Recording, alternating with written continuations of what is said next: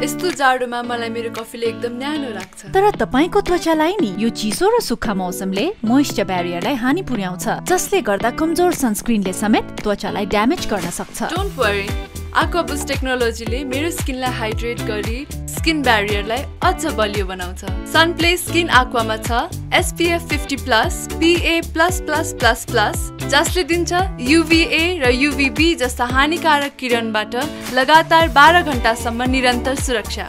यसका साथै aqua boost technology vitamin C र बी थ्री जसले राख्छ स्किन ओइल फ्री र साइन फ्री अब जाडोमा सनप्ले स्किन एक्वाले ग्लो अप गर्नेछ तपाईँको त्वचा।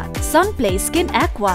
Hydrated sunscreen for all season, for all skin.